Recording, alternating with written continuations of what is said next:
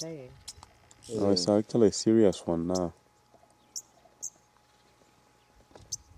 What, what, they stop.